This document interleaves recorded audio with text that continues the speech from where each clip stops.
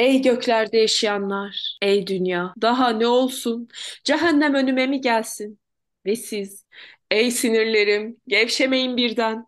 Gerilin, destek olun bana. Begüm oldu mu ya? Şimdi öncelikle Ahenk hiçbir şey anlamadım. Bence bize bir şeyler anlatmak istedin ama güzel yani havaya girmişsin. Bence harika.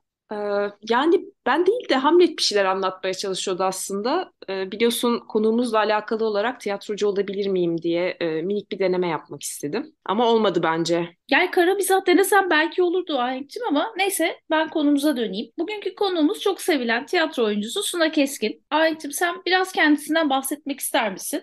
Begüm'cüm bu şerefi bana verdiğin için teşekkür ediyorum. Ee, Suna Keskin Türk tiyatrosunun önemli isimlerinden birisi. 60 yıldan beri sahnelerde ve halen aktif olarak oyunculuk yapan bir oyuncu. Kendisini sahnede izlemek isteyenler olursa e, şu an Ahududu isimli bir oyunu sahneleniyor. E, onu takip edebilirler. Bu arada sadece tiyatro sahnelerinde değil e, dizilerde de oynamış bir isim Suna Hanım. Aşkı Memnu, Perihan Abla, Sıdıka, Ruhsar, Doktorlar Suna Hanım'ın oynadığı bazı sevilen televizyon dizileri arasında. Bu arada sayende ben de kendisiyle tanıştığım için çok şanslı hissediyorum. Çünkü sahne dışında da inanılmaz tatlı ve gerçekten halen çok genç bir ruh. Tabii kankaları arasında Haldun Dorman gibi sanat tarihimizin önemli isimleri de yer alıyor. Fakat bence benim açımdan Suna Keskin'in en ilginç yanı senin halan olması. Bana e, biraz böyle halanı anlatmak ister misin Begüm? Yani şöyle Suna hala gerçekten benim için hem kişiliğine, güzel kalbine ve hem de oyunculuğuna çok hayran olduğum bir insan. Çok fazla da oyununu seyrettim. Cidden sahneye çıktığında çok mutlu oluyorum onu izlerken. O yüzden bugün için de oldukça heyecanlıyım. Şunu sorayım. Biliyorsun bu programı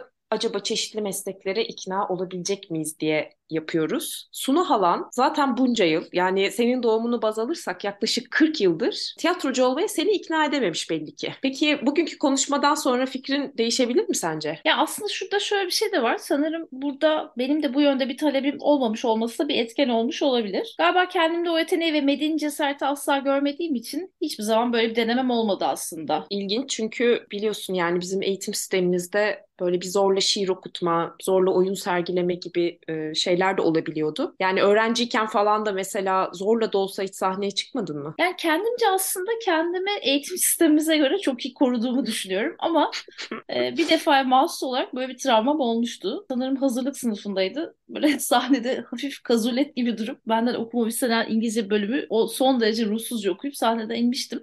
Ama galiba çocuk sayılacak bir yaşta olduğum için alkışlamışlardı veliler. Ee, ama galiba bu konuyu daha fazla irdelemek ya da konuşmak istemiyorum. Yani istersen sana geçelim. Senin hiç sahne deneyimin veya tiyatrocu olma konusunda bir isteğin var mıydı? Ya her çekimimizde, kaydımızda diyeyim konuyu bir çocukluk travmamıza getiriyoruz gerçekten. Evet. ne çıkacak bunun sonucunda bilmiyorum da mesela ben de çocukken aşırı utangaçtım. Yani hiç böyle özel bir sahne merakım olduğunu hatırlamıyorum. Ee, yani bırak sahne merakını böyle aile arasındaki şeylerde bile gayet e, sessiz sakin koltuğuna oturan böyle e, sakin takılan bir çocuktum yani ama tabii ilkokulda ben de mecburen bir takım şiirler okudum. Yetişkinliğimde iş sunumları yaptım. Yani sanırım sahne deneyimim bunlarla sınırlı kaldı. Ama aslında bir ara yani galiba 2014 yılı gibiydi. Ben o zaman Ankara'daydım. Böyle tiyatroculuk deneyimi hiç olmayan bir grup beyaz yakalı arkadaşla amatör tiyatro işine girişmiştik. Yani şu an geçmişe bakınca galiba kendimizi rezil etsek ne güzel olur diye düşündük yani o dönem bilemiyorum. Böyle kendisi de full time memur olan e, ama aynı zamanda da oyun yazarı olan yani profesyonel oyun yazarlığı yapan bir arkadaşımız var. Yani dinliyorsa şu an o kendisini biliyordur, kim olduğunu anlamıştır. Neyse e, o arkadaşımız bizim amatör ekibe özel e, bir oyun yazmıştı. Biz de böyle devlet tiyatrosunda görevli oyunculuk hocalarından, rejisörlerden eğitim alıp bir oyun sergilemeye çalışmıştık ama nedense o iş bir türlü olmadı. Böyle her şey ters gitti tiyatro salonuyla ilgili sıkıntılar oldu. E, tarihleri bir türlü ayarlayamadık ve oyunu asla sa- sahneleyemedik. Yani yuttuğum sahne tuzu boğazımda kaldı diyebiliriz. E, o zaman sanırım ikimiz için de bugün Suna Keskin dinlemek çok önemli bir dönüm noktası veya bir başlangıç olabilir. Olabilir mi acaba bilmiyorum ama bakalım bence sohbet ederken görürüz. Ben Suna Keskin, tiyatro oyuncusuyum. Begüm ve Ahengi tiyatro oyuncusu olmaya ya da olmamaya ikna edeceğim. Benim anlattıklarımdan sonra artık ne düşünürler onu bilemiyorum. Kendilerine bırakıyorum. Abla merhaba. Merhaba. Programımıza hoş geldiniz. Hoş bulduk. Siz de hoş geldiniz. Sağ olun bizi evinizde ağırladığınız için çok teşekkür ediyoruz. Çok mutlu oldum. Sizin gibi iki yetenekli, güzel genç hanımı ağırladığım için teşekkür ederim. Bana keyif verdiniz. Ee, benim için bir de çok özel bir program oluyor. Çünkü ben küçüklüğümden beri size çok hayranım zaten. Sağ ol canım. Ben Ee, de sana hayranım. İkinize o yüzden- de hayran oldum şimdi. Teşekkür ederiz. Teveccühümüz yani ben de hep e, sahnelerde ya da televizyonda gördüğüm e, birinin hani şu an evinde ve karşısında olmak için e, ne yaptım acaba diyorum da şansıma geldi. O yüzden ben de heyecanlıyım. Sizi bilen biliyor ama bir de sizden dinlemek isteriz. Oyunculuğa nasıl, tiyatroculuğa nasıl başladınız? Serüveniniz nasıl oldu? Ee, Şimdi ben oyunculuğa e, 62-63 sezonunda Dormen Tiyatrosu'nda başladım. Aslında konservatuvar e, bölümünü bitirmedim ben. Devlet Güzel Sanatlar Akademisi'ydi o zaman şimdiki Mimar Sinan. Grafik Sanatlar ve Resim bölümünden mezun oldum. Sonra öğrencilik yıllarımın son sınıfında e, Erol Keskin'le evlendim. O da çok değerli bir tiyatrocuydu. Bir turne sırasında Haldun Dormen'den teklif aldım. Önümüzdeki yıllarda Monserrat adlı bir oyun var Suna dedi. Bir Kızılderili kız var sana oynatmak istiyorum. Bir de Şahane Züğürtler'de evin kızı var. Oynamak ister misin? Dedi ve ben tabii e, hiç ikiletmeden kabul ettim. Ve ertesi sene 62-63 sezonunda profesyonel olarak oyunculuğa, tiyatroculuğa adımımı attım. Fakat akademi yıllarında amatör olarak çalışmalarım oldu. E, tabii ki onlar da biraz böyle beni e, tecrübe sahibi diyemeyeceğim ama öğrencilik diyelim hazırladı e, oyunculuğa. O şekilde başladım yani Dormen Tiyatrosu'nda e, profesyonel oyunculuğa başladım ve o günden bugüne de e, 60 yıl geçti. 60 yıllık tiyatro oyuncusuyum. Ne güzel. Ee, ilk oyununuzu hatırlıyor musunuz? Tabii. Heyecanınızı, ne Tabii. hissetmiştiniz sahneye çıkarken? Hatırlamaz olur muyum? İlk oyunum e, Monserrat adlı bir oyundu. E, Emmanuel Robles'in bir oyunuydu. Orada e, İspanya İç Harbi'ne ait bir oyun. Bir Kızılderili, bir melez bir kızı oynuyordum. E, tabii çok heyecanlandım. Çünkü tiyatrocu olmak, e, oyuncu olmak aklımda elbette vardı. Hatta hatta çocukluğumdan beri vardı. Bir çocuk oyununda Erzurum'da perde açıldığı zaman içime ateş düştü. Çocuk oyunu seyretmeye babam götürmüştü. O kırmızı perdeyi görünce açılırken "Hii, ben tiyatrocu olmalıyım dedim. Onu hatırlıyorum.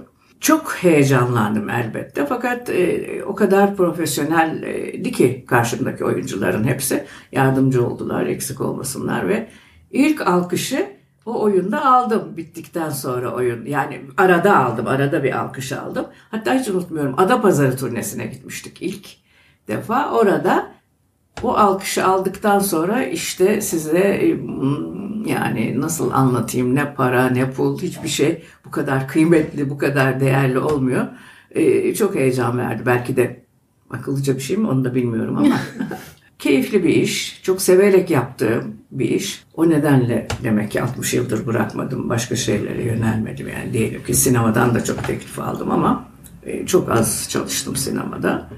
Yani Monserrat isimli oyun benim için ilk e, profesyonel ve heyecan verici ve güzel bir roldü. Küçük ama güzel bir roldü. O sene yine Şahane Züğürtler diye bir oyun oynandı. Başrollerini Haldun Dormen'le Ayfer Feray oynuyordu.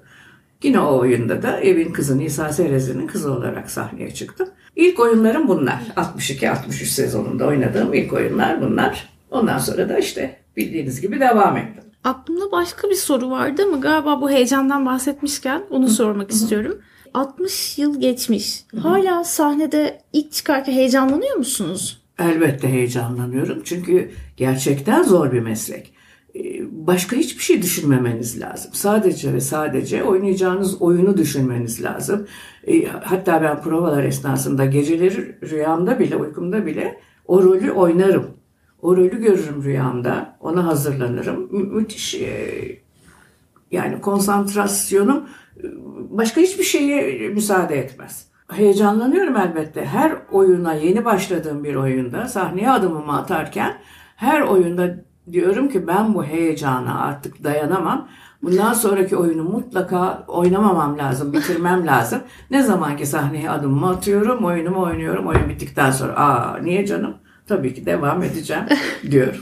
Çok ilginç gerçekten. Bu sahne tozu yutmak Evet. bir şey var. O herhalde o. anlattıklarınızdan Evet, böyle evet. bir şeyin gerçekten olduğunu anlıyorum. Hani ilk Gerçekten, sahneye çıktınız ve bir daha Gerçekten bırakamadınız. böyle evet. Şimdi şeyi söylediniz de heyecan ve rüyalarımda bile görüyorum dediniz. Mesela bence benim hafızam biraz zayıf. Yani bazen dün ne yaptığımı unutuyorum. Veya bir şey okuyorum hatırlayamıyorum sonrasında bunu. Bu- Sizin böyle hiç sahnedeyken unuttuğunuz oldu mu? Ya da o durumu nasıl toparlıyorsunuz? Elbette oldu, oluyor. Olmaması mümkün değil. Çünkü e, trak diye bir şey var. Duymuşsunuzdur tiyatroda. E, birdenbire bir boşalıyor kafanız. Bir şey oluyor. Nedir onu hala çözemedim. Ama onu ya kendiniz toparlıyorsunuz ya karşınızdaki partneriniz size yardımcı oluyor ya da e, bir şekilde hallediyorsunuz. Tabii ki oluyor böyle şeyler. Az da olsa oluyor. Olmamalı diye bir şey yok. Her oyuncunun başına mutlaka gelmiştir. E, Bir zorluğu da o tabii. O sahnede çok acı bir şey. Allah kimseye yaşatmasın ya da az yaşatsın. Peki aslında bu güzel bir yere geliyor. Merak ettiğim mesela bu kadar yıldır hiç unutamadığım Begüm Ahenk ben asla aklımdan çıkmaz. Hayatımda yaşadığım en komik hikayeydi dediğiniz sahnedeyken. Bir şey var mı? Eminim bir sürü vardır muhtemelen. Bir Ama sürü var tabii elbet. Bir trak geldi bana. Bütün e, kafam bir anda boşaldı. Ve karşımdaki arkadaşımı sahnede bırakıp çıkmak zorunda kaldım. Çocukcağız orada çırpınıyor hanımefendi, hanımefendi diye. Ben dışarıda gelemiyorum ve çocuklara, arkadaşlarıma diyorum ki teksti bana getirin. Gitti laf, gitti teksti bana getirin. Ki Yalnız kalan oyuncu sahnede o kadar acı çekiyor, hissediyorum fakat giremiyorum içeriye. Çok zor bir şey. Bir şekilde girdim bir yerinden toparladım. Ama hala şimdi beraber çalışıyoruz. Bana diyor ki Suna Hanım hatırlıyor musunuz o gün? Hatırlamaz olur muyum? Onu unutmama imkanı yok. ay evet çok kor- zor bir şey zor bir gerçekten. şey tabii. Yani Çok zor bir şey. Karşınızdaki kişi için de zor gerçekten. Çok- O- onu- onun için daha zor. gerekiyor. O za- sadece bağırdı. Hanımefendi neredesiniz, neredesiniz? Hisse-i Şaya diye bir oyundu. Hiç unutmuyorum. Hadi Çaman'la oynuyorduk. Bican Efendi ile karşılıklı. Bican Efendi kala kaldı. Şemsiyesi elinde sahnede. Çırpınıyor. Hanımefendi neredesiniz, neredesiniz? Buradayım diye girdim sonra ve toparladık. Doğaçladınız mı? Hatırladınız mı? Hatırladım. Hatırladım girdim. Fakat sonunda akabinde çok zor bir şey var. İnsan karşındaki mesela sinirine dokunuyor belki de gülme hali geliyor. İşte o gülmeyi toparlamak o daha da zor bir şey. Evet. Ee, toparladık. Allah'tan bir komediydi. Böyle Seyirci şeyler anlıyor mu bu anları sizce? Ya da o anınızda fark Anladı, ettiniz mi? anladığı da oluyor, anlamadığı da. Aa biz hiç anlamadık, fark etmedik falan. Yani onun e, ha- hanımefendi, hanımefendi diye bağırması sanki rol icabı gibi oluyor. Ben de geliyorum, geldim, geldim diye içeriye giriyorum. Anlamayabilir de. Ama biz anlıyoruz ya. Tabii. Evet, o sizin bütün Evet, psikolojinizi ya da konsantrasyonunuzu etkiliyordur tabii Evet. ki. O noktada ben şunu da merak ediyorum. Özellikle sanatçılar için bu çok söylenir. Hani akışta olmak gibi. Müzisyenler bunu çok anlatırlar. Hı hı. Özellikle oyuncular, tiyatrocular. O nasıl bir his? Yani tamamen rolünüze kaptırıyorsunuz ve o an o konsantrasyonla oynuyorsunuz. Arada böyle alakasız şeyler de aklınıza geliyor mu? Yok. Hiç. Yok gelirse çok kötü bir şey. Hayır.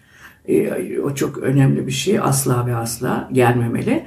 Ee, tamamen ben oyunculukta şuna inanıyorum. Tabii ki e, oyunculuk e, şöyle bir şey. Kendi bedeninizde başka başka insanları canlandırmaya çalışıyorsunuz. Ee, ama bunun denetimli olması lazım. Kendini kapıp koyu verirsen yani den- denetimsiz bir oyunculuğu asla kabul etmiyorum. Yani gözünüzden akan yaş bile denetimli olmalı. Yoksa mütemadiyen sahnede konsantre oldum diye ağla dur olmaz. Kavga ediyorsun hakikaten kavga et olmaz. Böyle bir şey olmaz. Yani sokaktaki kavgayla sahnedeki kav- kavga aynı şey değildir. Denetimli e, oyunculuk e, mutlaka olmalı. Bunu ne zaman edindiğinizi tam düşünüyorsunuz? İlk oyununuzda mı başladı yoksa zamanla kazandığınız bir şey mi oldu? Zamanla kazandığım bir şey tabii bu. Tabii. İlk oyunumda da tabii ki düşünerek oynuyordum. Ama biraz da rolün içine girmek, sanki konsantre olmak falan diye bir şeyler gelmiş kulağıma o zamanlar. O kendinizden geçerek oynamayı yani kabul etmiyorum ben. Kesinlikle matematik yani iki kere iki dörttür oyunculuk bence. Buna şöyle bir örnek. Siz tamamen aklınız başka yerde değil ama bir anda seyircilerden biri koltuk kavgasına tutuştu ya da işte bir anda bir kriz Telefonu geçirdi. belki. Ya da inanılmaz dikkatinizi dağıtacak bir kahkahası var. Onu nasıl önlüyorsunuz duymamayı ya da böyle başınıza geliyor mu böyle Geliyor şeyler? böyle şeyler. Çok güzel sorular soruyorsunuz. Ee, Teşekkürler. yani inan ki profesyonel gazeteciler bile Teşekkür ederiz. o sizin kibarlığınız. sorular sorun. Bence siz e, gazeteci olun. Bir başka ülkede. evet, evet. E, O, o da kötü bir şey. Orada da tabii yine denetim devreye giriyor ister istemez. E, O telefon çalması ya asap bozucu bir gülme, yerli yersiz gülme. Bazen de hiç gülmeme diye bir şey oluyor. Yani gülünecek yerde gülmeme diye. O daha O kötü. daha beter. Bunlar acaba dinlemiyorlar mı, anlamıyorlar mı falan. O son derece moral bozucu bir şey. Ne yapsak da seyirciyi neresinden yakalasak bizi mi beğenmediler yoksa gelip hepsi de uyuyor olamaz ya e, diye düşünüyorsun. Bizde bir şey var gibi. Bunlar oluyor maalesef sahnede bir şekilde yani toparlanıyor ama. Peki sahneye çıkmadan önce hem konsantrasyonunuzu arttırmak için hem böyle süreç güzel aksın diye yaptığınız belli rutinler oluyor mu? Ya da Oluyor. bir toteminiz, yanınızda taşıdığınız bir Oluyor. şey var mı? Yok yanımda taşıdığım bir şey yok ama e, mesela mm, çok sevdiğim oyuncular e, işte buna şimdi eşim de dahil e, vefat etmiş oyuncu arkadaşlarımı arkadan geçirip onları aklımdan geçirip pardon e, onlara dua ediyorum. Ne kadar güzel. Evet. Evet, onların gücünü belki arkanızda hissediyorsunuz desteğini. Evet. Ve onların e, ben oynarken özellikle Erol'un mutlu olduğunu düşünüyorum. Kesin öyledir de. Evet. Evet. Mutlaka. Ee, oyuncu olmak için sizce olmazsa olmaz özellikler var mı? Ee, iyi bir oyuncu, iyi bir tiyatrocu olmak için. Şu özellik ya da şu e, karakter özelliği olabilir, kişilik özelliği yani tam aklıma gelmedi şu an ama ya bu özellik bu kişide olmazsa iyi bir tiyatrocu olmaz söyleyebileceğiniz bir şey var mı? Önce elbette bir disiplin gerekiyor. Kendi hayatınızda e, işte vücudunuza iyi bakmak. Kurallar elbette var. Mesela ben gözlemciliğe çok inanıyorum. Etrafınızdaki bütün e, insanları, karakterleri e, inceli. Milyarlarca insan var, milyarlarca konu var, milyarlarca karakter var. Elbette hepsini inceleyemezsiniz ama aa işte bu da ne güzel oynanır, böyle bir rol oynasam. İşte ben acaba böyle bir şey kotarabilir miyim diye etrafınızdaki insanları e, incelemenizde yani gözlemlemeniz gerekiyor. Bence kurallardan biri bu. Bir tanesi de şeye inanıyorum. Türkçeyi iyi konuşmak, seyirciye söylediğinizi, kafanızdan geçeni, aklınızda olanı aktarabilmek, anlatabilmek. En arkadaki seyirciye, hatta şey derlerdi, en arkadaki kulağı duymayan seyirciye oyununuzu anlatabilmek. Diksiyon bence çok önemli. Türkçe'ye değer vermek, deforme etmemek Türkçeyi. Bunlar var elbette okumak, oyun okumak, oyun seyretmek, kitap okumak, roman okumak bunlar önemli şeyler. Velhasıl etrafınızda her şey ki her şeyle ilgili olmak bir de tabii e, güncelliği de kovalamak lazım. Çünkü değişen bir şey tiyatro. tiyatro. Dünya değişiyor, her şey değişiyor. O değişimi de e, kovalamak lazım diye düşünüyorum. Oyuna gidiyor musunuz başkalarının oyunlarını izlemeye? E, Gitme, yani oynamadığım zamanlarda gitmeyi arzu ediyorum. Gidebildiğim kadar gidiyorum. Peki bir şey merak ettim. Mesela gittiniz bir oyuna bir şekilde beğenmemiş olabilirsiniz. Diyelim ki beğenmediniz. Bunu söylüyor musunuz? Yoksa sadece sessiz kalarak Aa, teşekkürler deyip çıkıyor musunuz? Öyle merak ettim. Şimdi oyuncular arasında nasıl oluyor acaba? Bu zor bir şey. Evet. Yani bu, bu oyun iyi değil, hiç iyi değil falan demek bir oyuncuya çok zor. Bir defa bir emek var ortada. Önce onu değerlendirmek lazım o anlamda. Bir geçmiş olsun denir önce. Ha öyle. Ha, Evet, Tamam. geçmiş olsun ya da çok beğendik, harikaydı. İyiydi denir. Geçmiş olsun. Tabii. Geçmiş olsun. Evet, evet. Evet, diplomatik, evet.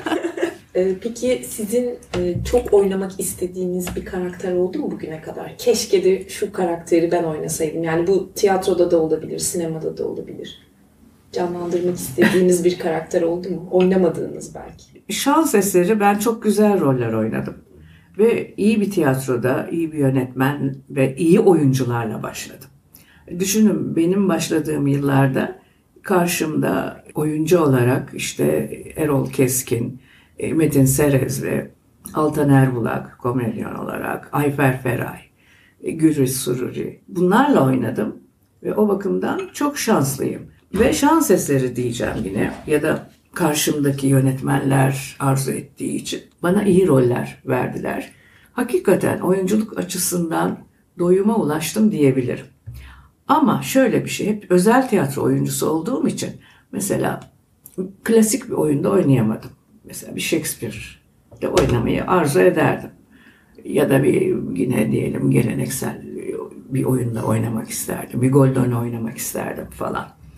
Ama e, şimdi düşünüyorum da hakikaten çok güzel roller oynamışım. Ve o bakımdan mutluyum. Yani aman şu da ah şunu da oynasaydım diye aklımda bir şey kalmadı açıkçası. Anladım.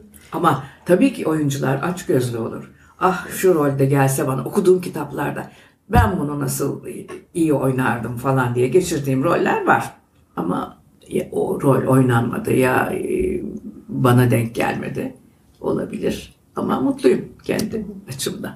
Aslında başında söylediniz yani iyi ki olmuşum tiyatrocu diye. Ama hani herkesin bir bu olmasaydı şunu da ikinci seçenek olmak isterdim dediğiniz bir meslek var mı? Oldu mu hiç öyle bir şey düşünceniz? Eğitimci olmayı arzu ederdim. Edebiyatçı olmayı arzu ederdim. Bir de bir de çocukluktan e, derler yani doktorculuk falan oynardım. Ke- Keselim, biçelim. Doktor olmayı da arzu ederdim. Yani her mesleğin tabii yararlı tarafı var ama faydalı olmak adına bunları düşünürdüm. Eğitimci olmak çok önemli bir şey. Bizim de yaptığımız iş o diye düşünüyorum zaten. Tiyatroculuğun sizce en zor yanı neresi? Hatırladığınız bir şey. Şu, Zor yanı çok yok. Zor diye- Var tabii de e, yorucu bir meslek tamamen başka işe e, kendinizi adayamazsınız mümkün değil. Hatta hatta çocuğunuz bile olsa bilmiyorum benim olmadı ama ne kadar ilgilenebilirdim onu bilemiyorum. İyi bir çocuk yetiştirebilir miydim? Şimdi dedim eğitimci olmayı isterdim E, ama o kadar e, yetiyor ki bu. İyi ki diyorum bazen çocuğum olmadı ya yetiştiremeseydim ya o, e, okutamasaydım ya bakamaz idiysem o zaman tabii ki çocuk çok önemli. Vazgeçmem gerek. Ben de şimdi düşünüyorum. Sabahları e, ofise giden insanlarız. Begüm de ben de. Evet. İşte yolda vaktimiz geçiyor. Bazen her şey çok rutine biniyor. İşte Evet. her gün aynı şey falan. Şimdi sizin de turneleriniz Turneler var, mesela. evet. Ya da hiç bitmeyen provalar. Belki aynı oyunu yüzlerce kez oynuyorsunuz. Böyle Evet. yani hiç bir kere of sıkıldım artık neyse çıkayım oynayayım dediğiniz bir an ol- olmuş muydu? Ya da böyle tamam ya bu da benim işim artık çıkayım oynayayım ben bunu da sonra bakarız duruma dediğiniz. Yüzüncü kere oynuyorum Yok yok yok. gibi. Şimdi mesela bu oynadığım oyunu 5 senedir oynuyoruz. 6. seneye girdik. Ee, Hiç bitsin istemiyorum açık söyleyeyim. Her seferinde ilk defa Tabii, oynuyormuşsunuz ilk defa gibi bir oynuyormuş gibi. oluyor. Çünkü Güzel. her oyun aynı olmuyor. E, ne olursa olsun e, başka bir salonda oynuyorsun. İşte bu taraftan yol alacağınıza başka yerden yol alıyorsun. E, Arkadaşın bazen e, senin tam yüz yüze olman gerekirken arkada oluyor falan. Her oyun oyunu aynı olmuyor ama sen aynı hadiseyi aynı şekilde seyircine hissettirebiliyorsun. Her oyun aynıdır dersek yalan olur. Her oyun ayrı bir oyundur bence. Ama seyirciye naklettiğimiz aynı konudur, aynı laflardır. Hiç benim sıkıldığım olmadı. Hatta mesela oyun bittiği zaman ay bugün de şöyle şöyle bir şey oldu. Farkında mısınız falan. Evet o karşımdaki oyuncu diyor ki evet farkındayım. Ya yap, şöyle yapsaydık Suna abla falan diyor çocuklar mesela. Aman iyi ki öyle olmadı. Farkında mısınız ben şu lafı yanlış söyledim. Hay farkında değildi Suna abla ya da farkındayız Suna abla. Böyle böyle şeyler olabiliyor. Yine oyun seyirci aynı oyunu seyrediyor. oyuncularla ilişkinizden yani diyaloğunuzdan bahsettiniz. Peki hiç hoşlanmadığınız bir oyuncu, insanız yani çünkü aynı, biz de aynı şirkete gidiyoruz. İşte ben şansı ahengi seviyorum, sevmeye de bilirdim gibi durumlar. Ama çalışmak zorundayım. Sizde de mesela iyi anlaşamadığınız biriyle sürekli turnelerde gezmeniz gerektiği olmuştur belki ya da olsa nasıl bir çok zor değil mi o aslında muhtemelen? Zor bir şey evet. E, mutlaka anlaşma yolunu bulmak lazım. Çünkü e, diyelim ki 8-10 kişilik bir kadroda e, bir kişiyle anlaşamazsan bir huzursuzluk yaratırsın. Ne olursa olsun eğer e, sevmediğin, hoşlanmadığın biri bile olsa onu tolere etmek zorundasın. E, hoş görmek zorundasın. E, kafanın arkasına itmek zorundasın. Olmaz olur mu? Elbette oluyor. Ama en güzeli unutmaya çalışmak, fark etmiyor gibi davranmak. Yani orada da biraz oynamak gerek. Evet herhalde şey olur diye düşünüyorum. Şimdi karşımda mesela çok sevdiğim e, annemi oynuyoruz mesela. Ben kızıyım annemle beraber diyelim. Ama hiç hoşlanmıyorum mesela o oyuncudan. Ne o da çok zor herhalde yapamazdım. Mesela ben bu yüzden de yapamayabilirim. Demek o zaman olmuyor. Evet Olmaz. böyle suratımı buruşturup. Evet güzel Gama cevabı buluyoruz yavaş yavaş. ben bu Sen ne yapardın? Onu ben de düşünüyorum. Hatta yine buraya gelirken Begüm'le aramızda konuşuyorduk. Hı hı. Şimdi gün içinde de aslında farklı farklı rollere giriyoruz. Tabii. Yani ben iş yerinde belki biraz daha farklıyım. Burada farklıyım. Tabii. Annemle konuşurken farklıyım. Tabii. Tabii. Yani aslında hepimiz bilinçsiz bir şekilde rol yapıyoruz. Hayatta oynuyoruz. Evet. evet. E, ama bunu bilinçli yapmak, o en başta söylediğiniz şey kontrollü Hı-hı. yapmak, Hı-hı. o gerçekten zor. Bir de bunu kontrollü o iş işte. yaparken... O meslek. Evet, doğal yapabilmek bunu. Tabii, yani karşıdakinin tabii. de bunu rol gibi algılamaması evet. gerçekten zor. Evet.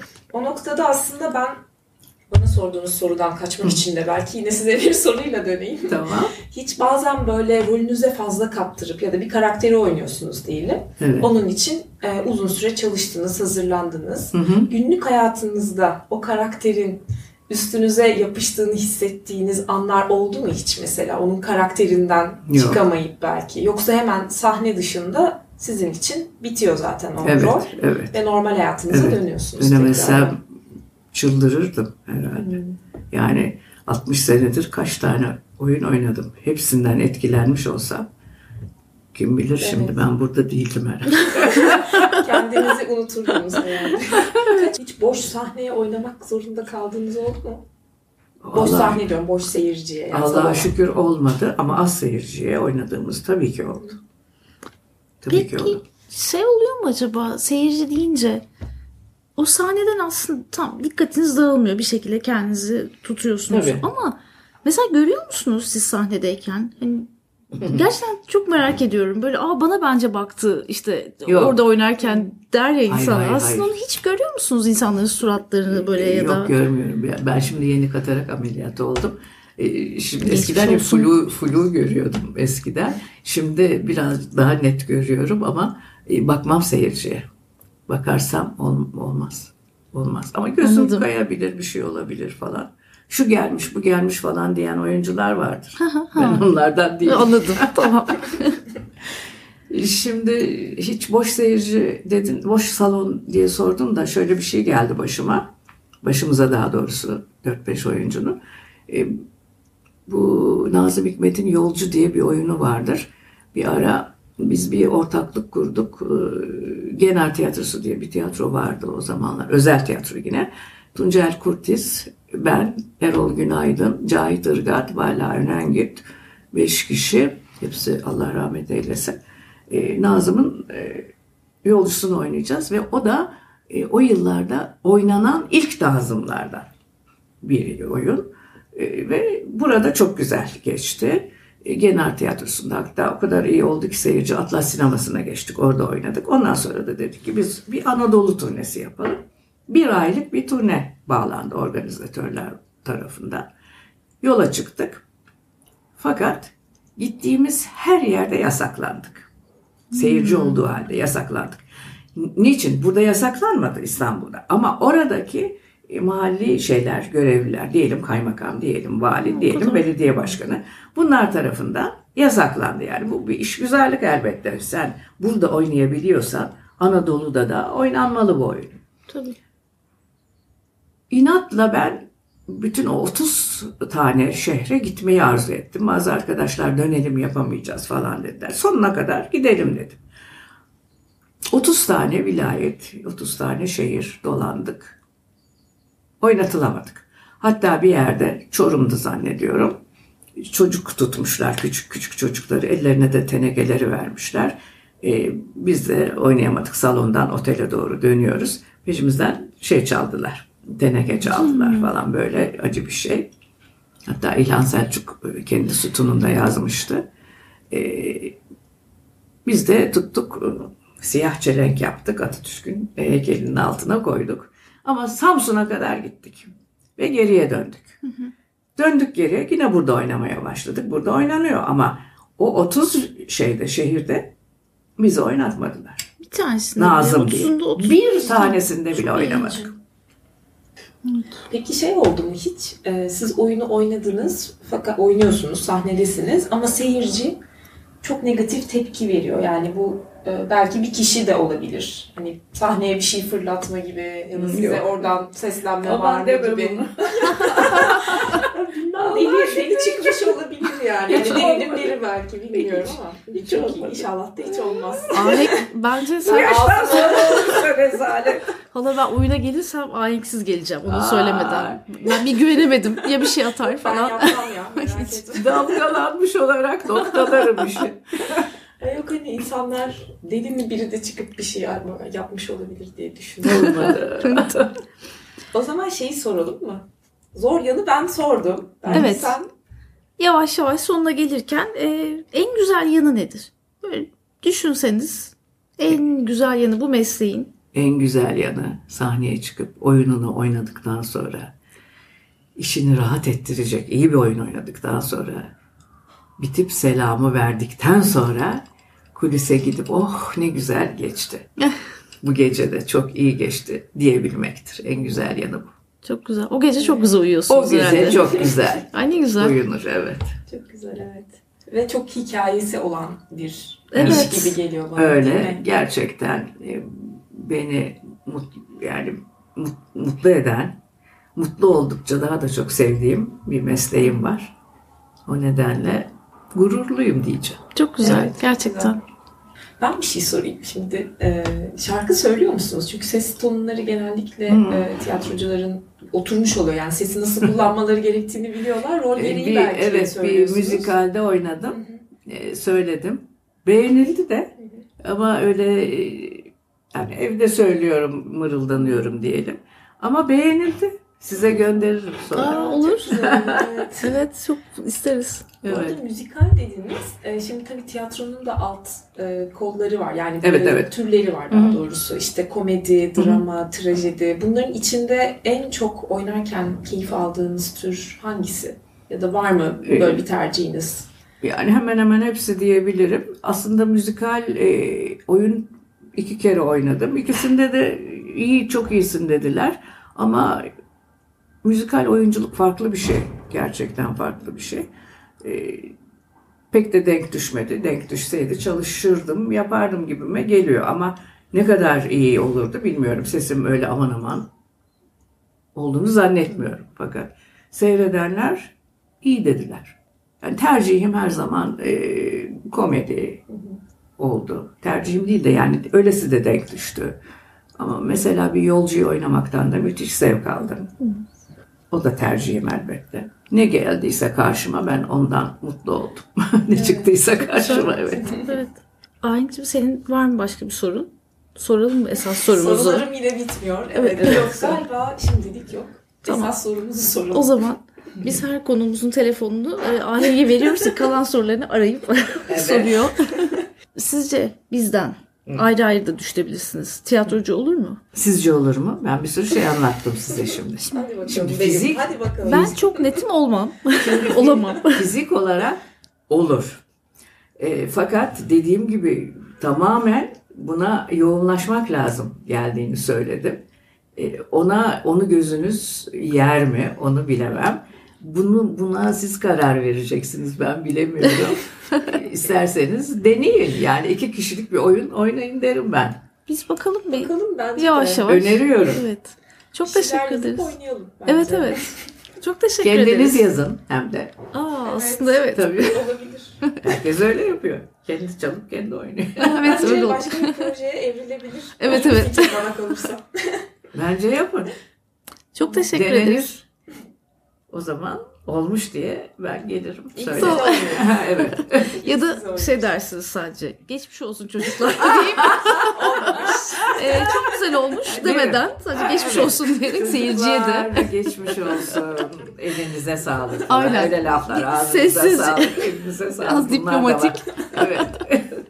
Çok teşekkür ederiz gerçekten. Ben teşekkür ederim. Çok e, iyi geldiniz bana. Börekler için de teşekkür ederim. Afiyet olsun. Ya evet Arka harika planda bir börek ve kurabiye yedik. Evet. Ama şu ıspanaklıdan sen yemedin. Yedim ondan. Öncelikle zan altında kalmamak için buradan da tekrar belirtmek isterim ki ıspanaklı börekler yedim ve inanılmaz güzeldi. Ee, Ahenk'cim sen neler yedin peki? Çünkü boş durduğunu görmedim açıkçası sohbet sırasında. Ee, Gerçekten bu e, kayıtları karın tokluğuna yapıyoruz. Ee, Resmi olarak böyle oluyor gerçekten. Ben açıkçası böreğe odaklanmaktan pek konuşamadım. Ee, Böyle ıspanak böreğin böyle o dokusu, yumuşaklığı aklıma aldı. Bir de kurabiyeler de çok iyiydi. Bu arada konu buraya gelmişken, yani Suna Hanım umarım bizi şu an dinliyordur. Kendisine şahane ağırladığı için ve çok tatlı misafirperverliği için tekrar çok teşekkür etmek istiyorum burada. Ama bence esas meselemize dönelim. Ee, ne düşünüyorsun bu sohbetin sonunda tiyatrocu olmak konusunda? Benim adıma sohbet gerçekten çok ilginç ve güzeldi. Ama e, yıllardan beri süre gelen kendime güvensizliğimden dolayı açıkçası benden iyi bir tiyatro oyuncusu olacağını kesinlikle ikna olamadım. Ama ıspanaklı börek pişirme konusunda şansımı denemek istiyorum. Sunu Alay'ı tekrar ziyaret edip bir börek tarifi alabilirim. Peki ya sen ne düşünüyorsun? Yani tabii halan olduğu için çok şanslısın. Bence de bu ıspanaklı börek olayını istediğin zaman test edebilirsin. O güzel bir avantaj senin için. Ben tabii soruya döneyim aynen. Ee, benden de tiyatrocu olmaz. Olmayacağına kanaat getirdim. Çünkü ben kesinlikle sahnede heyecanlanırım. Paralize olurum. Ya tamam bu belki böyle deneyimle aşılan bir şey olabilir ama herhalde bu yaşımda bir tiyatroculuğa başlasam o heyecanı yönetmem biraz zor olabilir. İkincisi kesinlikle konsantrasyonum dağılır. Aklıma rol sırasında alakasız saçma sapan şeyler gelebilir. Bir de e, ben şeyi ilginç buldum. Suna Hanım bir yerde trak gelmesi halinden bahsetti. O kısmı hatırlıyor musun Begüm? Evet evet bayağı ilginç aslında o kısım. Yani böyle oyuncunun kafası bir anda bomboş kalıyormuş. Tamamen ne söyleyeceğini, e, rolünü unutuyor o an. Yani ben bunu günlük hayatımda zaten sıklıkla yaşıyorum. O yüzden hani sahnede ne halde olurum hiçbir fikrim yok yani. E, bence de özetle benden tiyatrocu olmaz. Begüm ya bu arada bir şey daha soracağım sana. Benim sohbette bir şey dikkatimi çekti. Böyle Sunu Hanım bize bir şey önerdi sonlara doğru. Kendiniz yazın ve kendiniz oynayın dedi. Şimdi ben bunu biraz düşündüm. Benden oyuncu olmaz. Çok ön planda olmayı sevmiyorum ama hani oyun yazarlığını denemek isteyebilirim gibi bir fikir geldi aklıma. Sen buna ne diyorsun? Öncelikle sana başarılar diliyorum o zaman. Ama güzel bu arada. Senin yazı yeteneğini ben gerçekten bu arada çok takdir ediyorum. Neden olmasın? Ee, inşallah kendi bir oyuncu da bulursun. Sağ ol, Ee, bu destekleyici tavrın için gerçekten teşekkür ederim. Her zaman Ahenk. Bütün yolculuğumuz boyunca bu desteğimi senden esirgemeyeceğim. Şimdi kapatırken Sunala'ya bize ayırdığı değerli vakti ve güzel sohbet için gerçekten çok gönülden teşekkür etmek istiyorum. Aynı zamanda umarım çok sevgili rahmetli eşi Erol Keskin de uzaklardan bizi dinlemiş ve gülümsemiştir. Ya gerçekten bizim için unutulmaz bir sohbet oldu. Bu arada bu sayede e, senin dediğin gibi hem Suna Keskin'in değerli rahmetli eşi Erol Keskin'i hem de tüm tiyatro emekçilerini de anmış olalım. Katılıyorum. Hoşça kalın. Hoşçakalın.